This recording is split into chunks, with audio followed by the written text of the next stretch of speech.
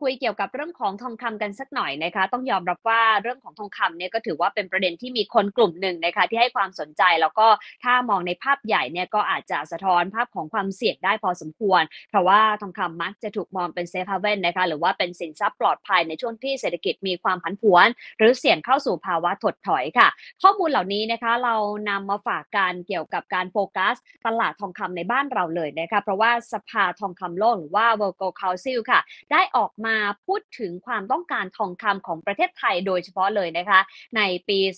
2022 ค่ะ ในปีที่ผ่านมาความต้องการทองคำเพิ่มขึ้นประมาณ 3%นะคะ เมื่อเทียบกับปี 2021 โดยรวมในอยู่ที่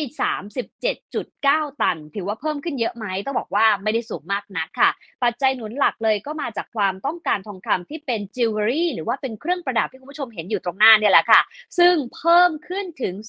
17%เมื่อเทียบกับปีก่อนหน้า คือโดยรวมเนี่ยเพิ่มขึ้น 3%นะคะ แต่ถ้าโฟกัสที่จิวเวลรี่เนี่ยขึ้นมาถึง 17%ทีเดียวค่ะเรื่องนี้คุณแอนดรูเนลเลอร์ซึ่งเป็นประธานเจ้าหน้าที่บริหารประจำภูมิภาคเอเชียแปซิฟิกไม่รวมจีนเนี่ยนะคะเขาบอกว่าปัจจัยสนับสนุนความต้องการของทองคำที่เป็นเครื่องประดับในประเทศไทยเนี่ยก็มาจากการฟื้นตัวของเศรษฐกิจรวมถึงภาคการท่องเที่ยวด้วย และถ้าเทียบแล้วราคาทองคำในประเทศลดลงนะคะ ในช่วงเดือนกันยายนแล้วก็ตุลาคมทำให้มีการซื้อทองคำเป็นเครื่องประดับหรือว่าจิวเวลรี่เนี่ยเพิ่มสูงขึ้น ส่วนไตรมาสที่ 4 ถ้าโฟกัสไตรมาสสุดท้ายของปีเพียงไตรมาสเดียวนะคะ สภาทองคำโลกบอกว่าความต้องการทองคำในไทยเนี่ยเพิ่มขึ้นถึง 9%ทีเดียวค่ะ เมื่อเทียบกับไตรมาส 4 ปี 2021 แรงหนุนสำคัญก็มาจากทองคำแท่งกับเหรียญทองคำนะคะ ที่ในช่วงนั้นเนี่ยมีความต้องการเพิ่มขึ้นถึง 8%ไปอยู่ที่ 10ล้าน8แสนตันนั่นเองค่ะ ส่วนในจิวเวลรี่นะคะความต้องการเนี่ยถือว่าเพิ่มขึ้นมา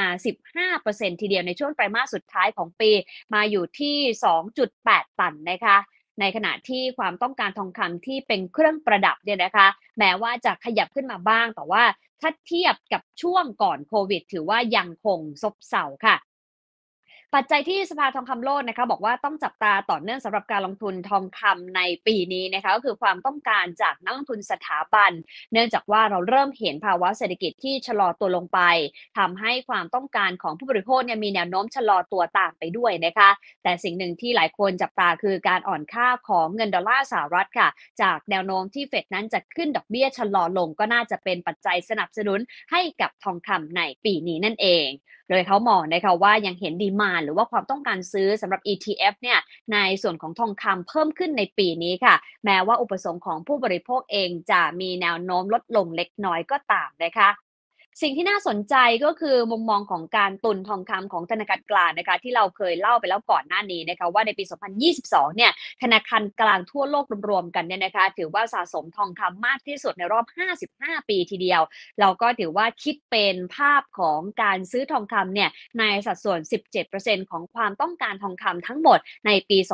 2022 นะคะ ส่วนในปี 2023 มองอย่างไร สภาทองคำโลกบอกว่าจริงๆ แล้ว ปีนี้ ทางด้านของธนาคารกลางเองก็น่าจะยังเป็น net buyer นะคะคือยังเป็นการซื้อสุดที่อยู่นะคะแต่ว่าตัวเลขก็อาจจะไม่ได้พุ่งแรงเหมือนอย่างปี